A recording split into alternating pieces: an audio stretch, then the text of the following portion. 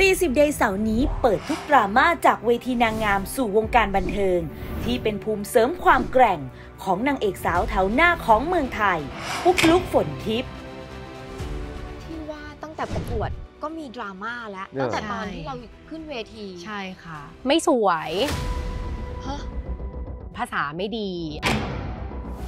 เตี้ยจังเลยอะไรอย่างเงี้ย โดนบูลลี่ว่าเอ้ยอ้วนนะ ต้องไปลดน้ำหนักอะไรอย่างเงี้ยเอาละก็วิ่งแล้วก็แบบเอารูปมาแปะหน้าลูกวิ่งแล้วก็แบบวิ่งทุกวันแบบคืออะไรในยุคครับนั้นเรารู้สึกว่าเขาผอมแล้วหุ่นดีแล้วแบบอินเนอร์เขาได้ในความแบบจะไปเอามงอะไรอย่างเงี้ยเอ